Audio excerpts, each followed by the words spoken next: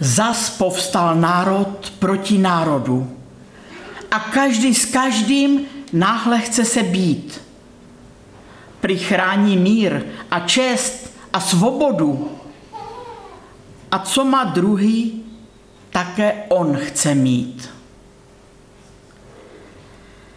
Zas někde děti pláčou na polštář a marně svoji mámu volají. A místo slunce svítí ohňuzář, co zapálili bomby po kraji. Zas povstal národ proti národu. A člověk nezná bratra v bojích těch. Chce chleba mazaný i ze spodu. A všude vládne jenom zhon a spěch. Zas někde matka pláče na polštář, když syn jí z vojny náhle přestal psát že prý jej dala vlasti na oltář a nemá prý se, nesmí proč se ptát.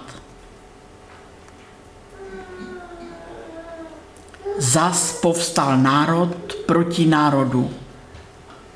Však boží děti nemusí se bát. Vždyť brzy přijde konec těch zhoubných závodů a země přestane už naříkat. Pak přijde čas, kdy celým vesmírem znít bude píseň díků, píseň chvál. Žít budem věčně v míru spolu s Ježíšem a s námi On, náš dobrý Otec, král. Žít budem věčně v míru spolu s Ježíšem.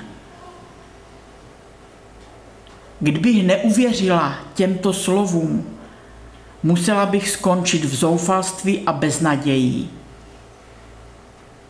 Díky Bohu za naději. Věra Gajdošíková.